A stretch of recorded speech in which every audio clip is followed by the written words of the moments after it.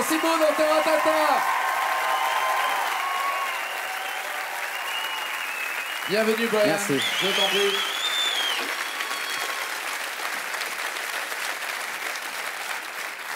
Alors, quand des artistes viennent dans Taratata, ça veut dire qu'ils nous font confiance. Quand des artistes reviennent dans Taratata, euh, ça veut dire qu'ils viennent pour le plaisir. Et nous aussi, ça nous fait un immense honneur et un immense plaisir que vous soyez de retour. Placez-vous dans ce Merci, Taratata. merci beaucoup. Voici le nouvel album. Et la carrière et l'œuvre de Placebo, la voici résumée, si euh, vous me permettez cette expression, en trois minutes par Gilles Verland et Yann Graland. Regardez. Dis-moi quelle chanson tu reprends et je te dirai qui tu es. On pourrait jouer à ce genre de portrait chinois avec Placebo qui a publié au fil de sa déjà longue carrière un nombre impressionnant de reprises. Exemple, Placebo a chanté Johnny and Mary de Robert Palmer. Au fait, ça ressemblait à quoi l'original? Robert Palmer est le créateur de cette excellente chanson en 1980. Brian avait 8 ans. On peut présumer qu'il fait partie des héros de Placebo. Mais Molko Co ont aussi chanté ceci.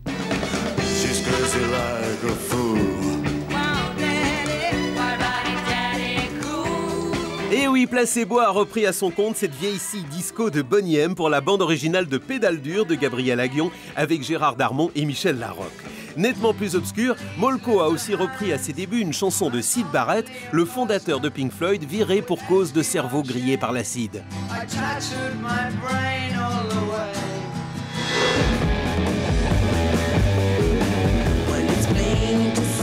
Déjà plus connu et bien dans l'esprit glam de Placebo, cette reprise de 20th Century Boy pour la BO du film Velvet Goldmine. Mais là, c'est l'original par Mark Bolan et T-Rex en 1973. Brian Molko avait un an à peine.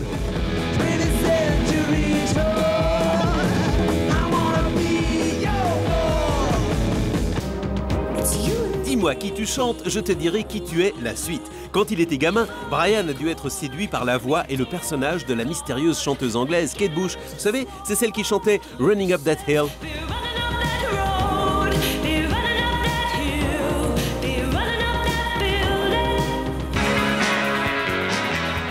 Des années 80, Brian Molko est un ado et ce qu'il fallait écouter quand on était ado à cette époque, c'était les Smiths avec Morrissey. En toute logique, Placebo a repris des années après cette pure merveille, Big Mouth Strikes Again.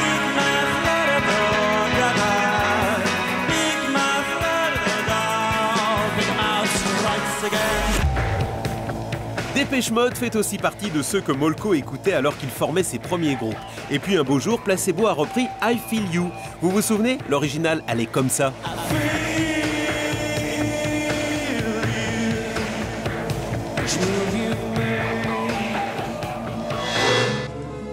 Et puis bien sûr, on sait combien Brian est fan de Gainsbourg. De Serge, il a repris Je t'aime moi non plus en duo avec Asia Argento et puis bien sûr la ballade de Melody Nelson. Oh, ma mélodie. Melody Nelson. Et où avais-je la tête? Placebo a aussi repris Where is my mind des Pixies, un autre groupe essentiel quand Brian avait 17 ans. Il l'a même chanté avec Frank Black, son créateur, à Bercy. Where is my mind? Where is my mind?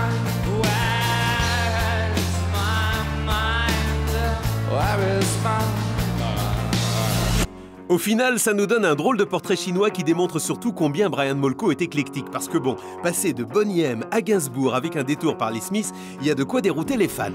Mais au fait, Brian, est-ce qu'il y a une chanson que tu rêves de reprendre? Si oui, tu peux nous la faire a cappella, là, tout de suite, maintenant?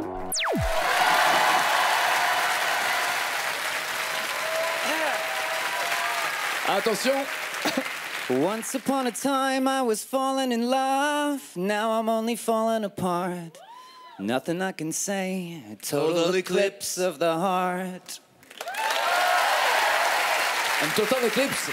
Elle est là, l'éclipse voilà. aussi. Voilà. Quelle union thématique. hein. Oh là là.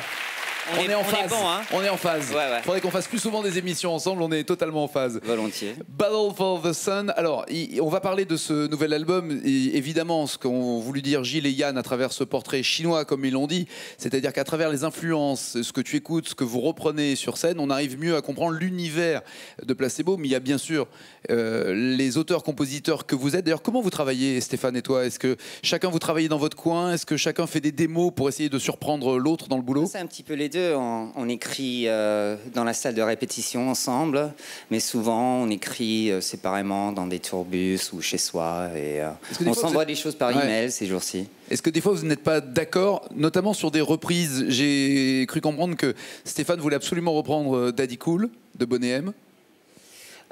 Non, c'était plutôt pour c'était plutôt pour la fille de notre ancien batteur. D'accord. Ouais. Comme cadeau d'anniversaire. Le, le Daddy Cool. Mhm. D'accord. Ouais. Mais vous l'avez quand même reprise cette chanson. Ah oui, absolument, ouais. Qui correspond plus à un truc disco que du glam rock ou du psyché. Oh, bien sûr, mais nous, nous sommes les, des enfants des années 80. Nous avons grandi avec le disco et les Gibson Brothers et Claude François, etc. Alexandrie Alexandra. Ah ouais, moi, quand j'étais petit, euh, dans le salon, que- moi, je faisais la danse des Claudettes. Voilà. voilà. Ah ouais. Excusez-moi. Ah ouais.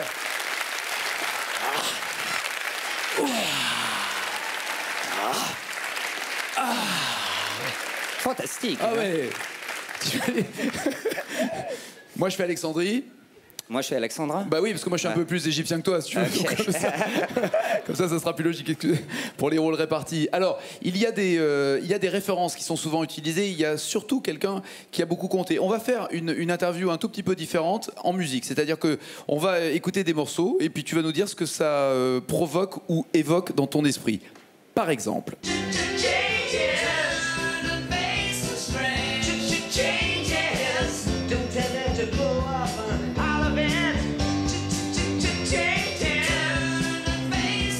Qu'est-ce que tu peux nous raconter sur l'importance qu'a eu euh, David Bowie pour toi? Ben, quand, on était, euh, quand on est un très jeune groupe, euh, dans les années, dans les années 90, c'était 95, je pense. Et, avant qu'on avait fait notre premier album, il y a David Bowie qui nous a demandé d'aller en tournée avec lui pour, pour faire sa première partie. Euh, alors c'était incroyable parce qu'avant ça, nous jouions dans des salles pour 3- 300 personnes et puis on s'est retrouvés devant des, des milliers et des milliers de gens. Et on a beaucoup appris à cause de ça. Et euh, une relation s'est formée et puis on a même enregistré euh, un, un 45 tours ensemble. Oui, il a, il a cherché vraiment à vous, à vous lancer. Alors tu dis que David Bowie est quelqu'un qui parle beaucoup euh, d'homme à homme C'est un comme ça. grand raconteur. Ouais. Ouais. Ouais, ouais. Et qu'est-ce que ça, ça- ça donne quoi des, euh, des il nous a raconté entretiens des histoires sur Mark Bolan, sur. ben, tu vois, Bowie a toujours été quelqu'un de très social, alors il, il- il a connu et il connaît presque tout le monde. Alors euh, tu n'as qu'à mentionner quelqu'un et puis tu as une anecdote dessus. Et, et professionnellement, tu as appris euh, des choses avec lui, c'est-à-dire que tu as appris notamment Mm. à, à laisser parler toutes les, toutes les facettes possibles et imaginables de ta personnalité, parce qu'il joue avec ça, euh, avec son côté androgyne, avec, le, avec même en créant des personnages comme Ziggy, et Mm-hmm. sans trop savoir si c'est lui qui parle ou un personnage qu'il invente. Moi, je pense qu'il m'a appris de, de ne jamais avoir peur, de vraiment de suivre son ambition à 100%. Et souvent de faire des bêtises aussi, de, tout ce que tu fais ne peut pas être à 100% un succès.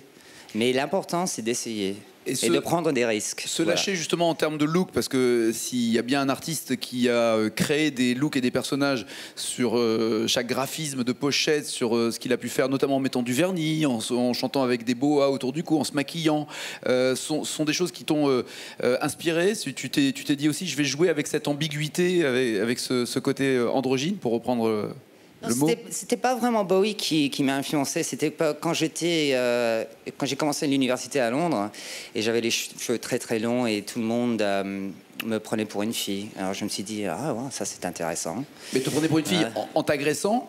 Non, pas vraiment. J'étais à une soirée, quelque chose comme ça. Je me faisais draguer par des mecs euh, tous les cinq minutes. Et puis, eh, comment tu t'appelles, Brian Non. Et puis, il court. Ah, oui, il cou- il court, d'accord. Au titre. Sex and drugs and rock and roll. Sex and drugs and rock and roll. Alors là, c'est plus la question, c'est plus, euh, j'ai envie de dire, sur le titre que sur l'artiste. À moins que tu aies quelque chose à dire euh, sur lui, en l'occurrence. Bah, non, Ian Jury n'est pas vraiment une grande influence musicale. Mais alors, sex, drugs and rock and roll, ça c'est trois, euh, trois grands mouvements, c'est c'est trois grandes C'est le expressions. Père, le Fils et le, le Saint-Esprit, Peut-être, je sais pas. dis- Dis-moi ce que ça, ce que ça provoque ou évoque chez toi. Euh, de la nostalgie. Pour lequel des trois? Pas pour le rock'n'roll, j'espère. Non mais, non mais blague à part, est-ce que euh, vous avez beaucoup parlé, communiqué dans des interviews et tu as dit récemment dans une interview, on l'a peut-être trop fait, mais vous avez beaucoup parlé de, de vos goûts sexuels au sein du groupe, vous avez beaucoup parlé aussi de, de la drogue tout en faisant du, euh, du rock and roll. Et est-ce que vraiment tu regrettes d'en avoir trop parlé parce qu'on l'a trop retenu Un ou- petit peu parce que les gens ont, ont arrêté de, de parler de la musique. Et euh, nous sommes devenus ce groupe euh, avait- un petit peu bourré, voilà. Non, c'était pas ça. C'était il y a un, un hétéro, il y a un bi et il y a un homo. C'est-à-dire qu'il y avait les trois, euh, les trois courants sexuels représentés au sein du groupe. C'est ce que j'ai lu dans toutes les interviews. C'est ce qui ressortait comme euh, ça y est, on a mis les trois dans le même. Alors là, c'était plutôt quelque chose de politique. Que, nous, nous avions envie de, de vraiment que, de, de faire une promotion de la tolérance. Et c'était plus un acte politique, je pense, qu'une- que quelque chose euh, euh, pour essayer de, de prendre de la publicité. Et ça a marché, puisqu'il y a, il y a quand même, je pense, certains fans ou d'autres musiciens qui, euh, rassurés de, de- de quelques coming out euh, que vous avez pu faire, Absolument. Si, se si- sentaient mieux dans leur peau. Bah, je l'espère. Si ça peut permettre ça, au moins c'est dé- c'est déjà ça. Et puis ouvrir un tout petit peu les esprits et, et la tolérance. Sur la drogue, euh, tu- tu- il y a une très jolie phrase que tu as dite disant que ceux qui sont contre, le rock, le- contre la drogue devraient jeter tous leurs disques de rock'n'roll. Ah ouais, parce que les Beatles étaient si stoned qu'ils ont même laissé le, chanteur, euh, le, le batteur chanter. Ouais, Il faut être bien camé pour faire. Non, mais Voilà. Bon, t'as pas Ringo Starr, j'ai compris. Mais, mais blague à part, la drogue va bizarrement bien avec le monde du rock'n'roll. On a l'impression que c'est un passage obligé de prendre de la drogue quand on, euh, quand on est une star du rock. Je pense pas que c'est nécess- nécessairement obligé. Je pense que c'est plutôt quelque chose qui, euh, qui est partout dans la société. Et nous, nous essayons d'être un petit peu un miroir à, la société. Alors dans nos, dans nos chansons, on, s'est dit c'est impossible de parler de ce que ça veut dire d'être un animal émotionnel euh, ici dans le XXe siècle, parce que c'est dans le XXe siècle qu'on a comm- commencé, euh, sans, sans parler de ce sujet-là. Autre titre.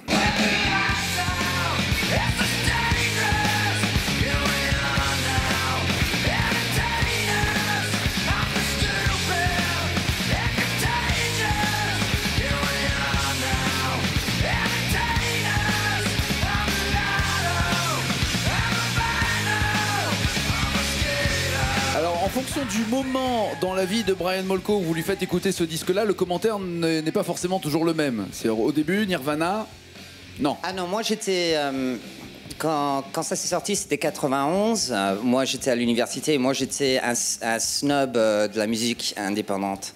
Et pour moi. C'était trop Nirvana- commercial, ça. Absolument trop commercial, ouais. Euh, alors j'ai pas écouté, c'est c'est pas. euh, je sais pas, c'est deux, trois ans après, euh, après la mort de Kurt Cobain que j'ai commencé à, à vraiment apprécier leur musique. Mais est-ce que vous avez, euh, vous vous rendez bien compte que des artistes peuvent écouter Placebo en disant Placebo, c'est commercial? Absolument. Bah alors Absolument. Ben voilà, euh, euh, dans, da- dans deux, trois ans après ma mort, euh, ils me trouveront assez, assez bien. Oui, c'est ça. Il faut toujours attendre l'au-delà. Mais vous avez quand même envie d'être parmi les meilleurs groupes au monde. Il n'y a, pas de- y a pas de côté Enfin, on snob est déjà indépendant. le meilleur groupe au Pardon, monde. excuse-moi. excuse-moi. Ouais.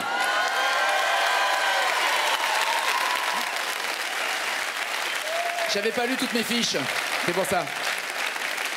Faut faire sa recherche. hein, Oui, oui, vie, non, hein. non, faut Ouais. mieux, faut mieux travailler, faut mieux travailler. Alors, il y a beaucoup là d'artistes anglo-saxons. Tu parles extrêmement bien le français. Il y a euh, dans tes veines du, euh, du sang qui coule de multiples origines. C'est ce qui fait d'ailleurs la, la richesse de ta culture. Et en plus, tu aimes la culture française, tu aimes lire euh, en français.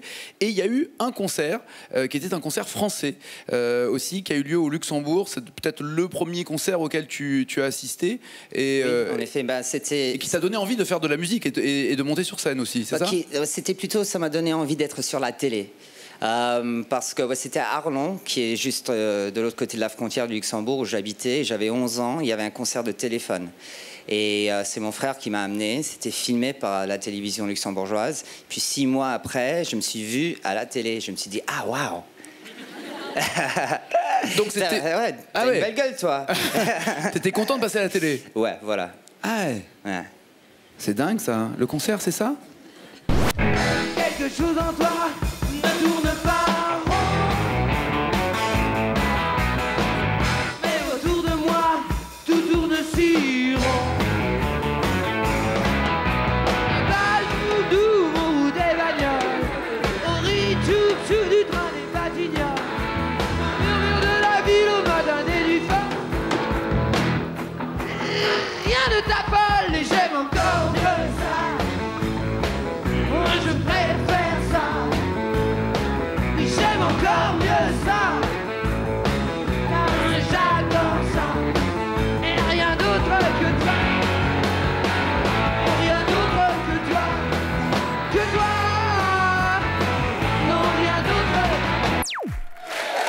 Bravo.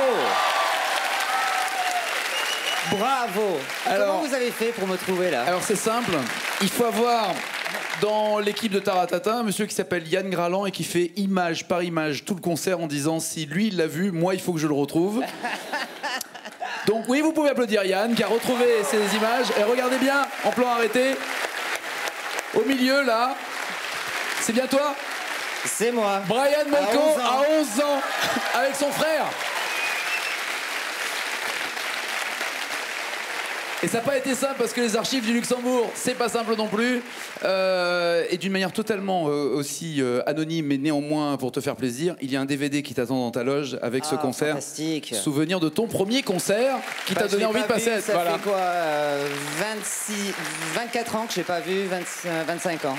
Ah, ça va être sympa. Ah, merci beaucoup. Mais non, notre plaisir.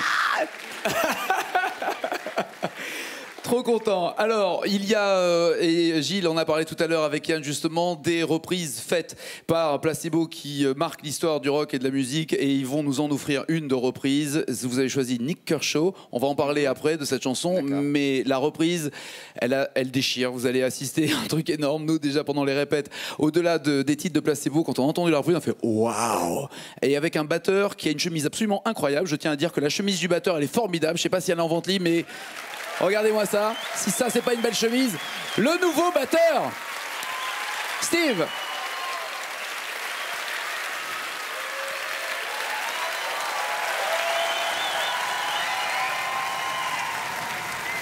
Placebo dans Taratata.